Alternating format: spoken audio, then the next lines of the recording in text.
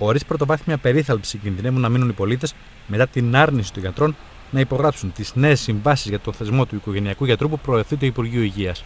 Πέφτουμε σε ένα κενό για την πρωτοβάθμια φροντίδα υγείας, η οποία, εάν δεν ανανεωθούν οι συμβάσεις οι σημερινές, δεν θα υπάρχει εντός ε, ολίγου.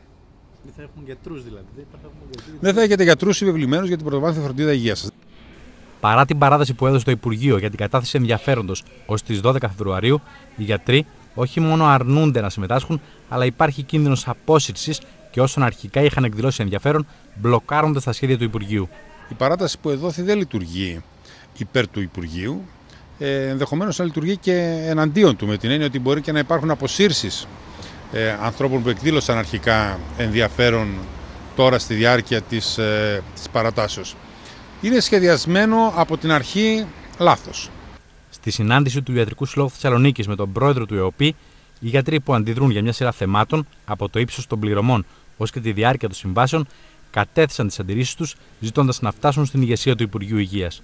Εμείς εφαρμόζουμε το νόμο ως οργανισμός.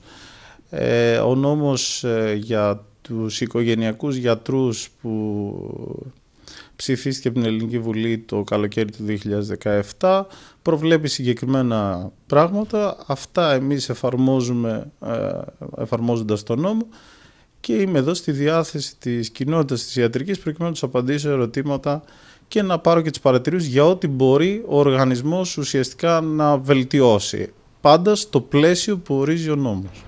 Όπως λένε οι γιατροί πάντως, προβλήματα υποστελέχωσης παρατηρούνται σε όλο το δίκτυο πρωτοβάθμιας φροντίδας με αποτέλεσμα την ταλαιπωρία των ασφαλισμένων. Ο καρδιολόγος τώρα μας έφυγε, είναι μόνο μία καρδιολόγος η οποία φορτώνεται και του απογευματινού τα ραντεβού. Τα ραντεβού της έχουν πάει μέσα ε, Απριλίου. Λοιπόν, αν είναι κάποιος που έχει πρόβλημα, τι θα γίνει; Οι γιατροί στη Θεσσαλονίκη θα λάβουν οριστικές αποφάσεις για το θέμα στη Γενική Συνελευσή τους την ερχόμενη Κυριακή.